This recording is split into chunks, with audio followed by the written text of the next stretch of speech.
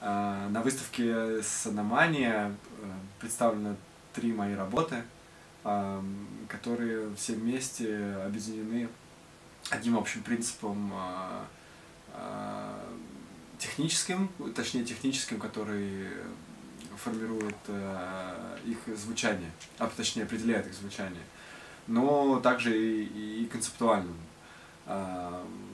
Я говорю о принципе, который называется Э, фидбэк или обратная связь, э, принцип, э, который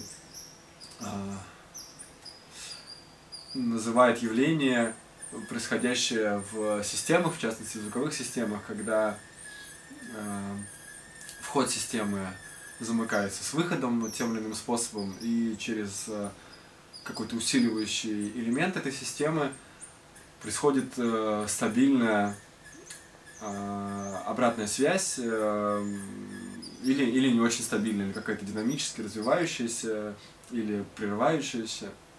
А, мы все очень хорошо знакомы с этим явлением по тем самым неудачным моментам во время публичных выступлений каких-то э, спикеров, э, когда микрофон вдруг начинает э, свистеть от того, что находится в звуковом поле собственных динамиков, через которые он звучит, э, или же неправильно настроена такая система.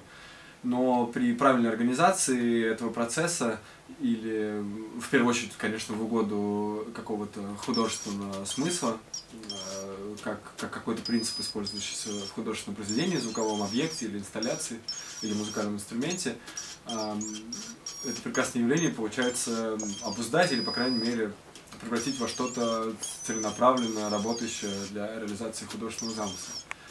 И, собственно, в каждом из трех объектов, которые я показываю, есть э, микрофон или несколько микрофонов, которые э, при помощи электромоторов э, перемещаются в пространстве, близком к динамику, и таким образом формируют звучание, но за счет этого движения оно либо прерывается, либо постоянно меняется в своем тоне, а, и, в общем, является таким обузданным явлением, которое как бы служит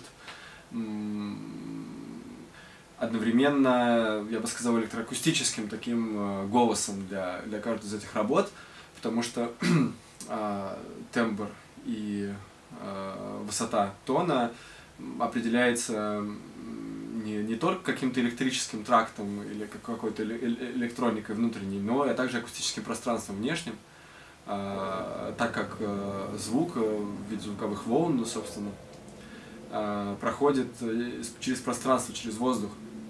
А, и получается то, что это такой, в общем, комбинация одновременно акустического э, какого-то процесса и электронного. И Э, для всех моих работ очень важно, чтобы присутствовало какое-то движение, я имею в виду механическое движение, которое находится как бы параллельно со звуком, но и одновременно работает на то, чтобы этот э, звук существовал и менялся. И для меня очень важно, что это такая, чтобы, что эти работы созданы в такой эстетике DIY, сделай сам, эм, потому что они как бы олицетворяют, эм, собственно, мои, мои, главные какие-то творческие э, концепции. Каждая из этих работ не имеет какого-то компьютера, а управляется маленьким микроконтроллером, и это такие автономные, в общем, объекты, которые э, в той или иной степени созданы мной, чтобы имитировать э, какое-то поведение живых существ или каких-то кибернетических систем, которые ведут себя э, уподобленно каким-то существам. Вот. Не обязательно живым, но как будто бы у них есть какой-то собственный э, разум или, по крайней мере, как, какие-то способности к самостоятельному поведению. Вот. На, на этой выставке представлены три мои работы. Одна работа называется Warrior или воин, и это совсем небольшой объект, э, который является маятником. Э, я назвал его воином, потому что он мне напоминает, напоминает какого-то марширующего, такого очень исту, не, стукана, но какого-то, какую-то муштру военную в своей методичности движения. Вот. Хотя, конечно, это гораздо более какая-то живая, в моем понимании, конструкция, нежели чем какой-то без, безликий солдат э, марширующий. Тело маятника является э, маленький микрофон, а, а в основании установлен маленький динамик. И, и мотор, который заставляет колебаться маятник, э, ритмично, методично, э, но в каком-то случайном своем э, свой случайном алгоритме заставляет колебаться этот маятник, что, собственно, заставляет его звучать такими методичными, ритмичными свистками. Иногда он зависает э, над динамиком, иногда очень медленно колеблется, останавливаясь постепенно, э, ждя следующего импульса от мотора. Э, и все вместе это варьирует, собственно, характер движения маятника. Объект аттрактор – это такой небольшой роботизированный звуковой объект, который э, все время стремится достичь состояния наиболее громкого звучания, но как только его достигает, а, старается как можно быстрее от него избавиться. То есть такой, в общем, э, можно сказать, какая-то аллегория вечного поиска э, какого-то состояния, при этом как бы по достижению которого объект не может его сохранить как устоявшуюся систему, который также использует для демонстрации только не демонстрации, собственно, а основной звуковой элемент – это обратная связь. И на роботических лапках располагаются микрофоны, а в центре тела объекта два маленьких динамика, через которые эти микрофоны звучат, усиливаются и а, еще немного, немного обрабатываются цифровым процессором. И третий объект называется, точнее не объект, это э, два объекта из составной инсталляции, которые в оригинальном своем исполнении включают восемь э, объектов. Это птицы, и проект называется «Турбулентность».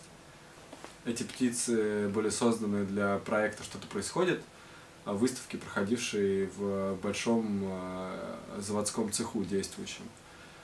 И идея была в том, что птицы, как такой, в общем, символ свободы с белыми крыльями, но при этом роботизированные, как будто бы застряли в таком индустриальном автоматизированном гиганте большого пищевого цеха с кучей оборудования, труб, проводки, механизмов и каких-то посторонних звуков. Вот. Но здесь мы как бы две птицы освободили из плена, и они в каком-то своем собственном находится состояние. Некоторые из моих работ, они интерактивные, как-то взаимодействуют с публикой или с какими-то еще средами внешними или всевозможными. А другие работы автономные и исключительно работают, опираясь на собственную какую-то программу и внутренний код.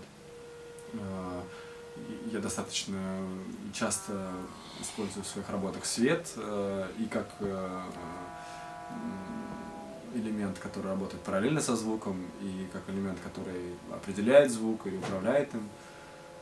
Э, намного реже видео, но, как правило, в всех моих работах есть какое-то еще механическое движение, то есть в той или иной степени они являются кинетическими объектами, хотя это не всегда определяет э, как бы их главное свойство, иногда это лишь второстепенный элемент, который позволяет более как бы тонко открыть идею или наоборот просто слушать утилитарные цели какого-то перемещения или движения.